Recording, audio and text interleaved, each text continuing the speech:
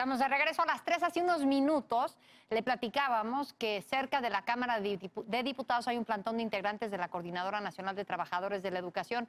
Vámonos al lugar, allá está mi compañero Héctor Guerrero para ampliarnos la información. Héctor, adelante, ¿qué está pasando por allá? Buenas tardes. Gracias, Ana Paula. Muy buenas tardes. En efecto, a partir de las 3 de la tarde fue cerrado en su totalidad el Palacio Legislativo de San Lázaro por integrantes de la CENTE de la sección 22 de Oaxaca, así como por trabajadores que son asesores técnicos profesionales de distintas universidades en protesta por las leyes secundarias de la reforma educativa.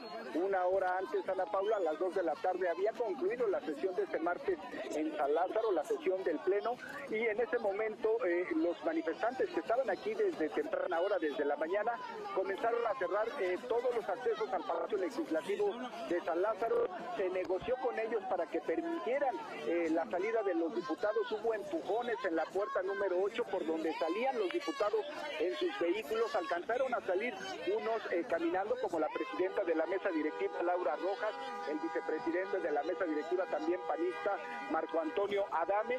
Y bueno, otros salieron por la vía vehicular como te entre empujones. Ha pasado ya unos minutos después de estos hechos.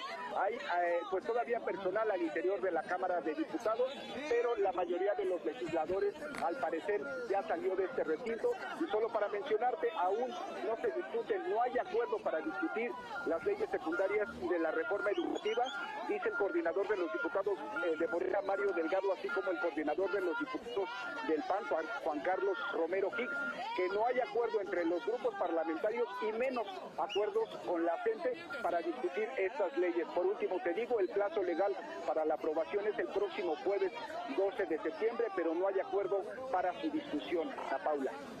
Eh, eh, Héctor, entonces están desalojándose, desalojando ya varios de los diputados del Palacio ahí legislativo.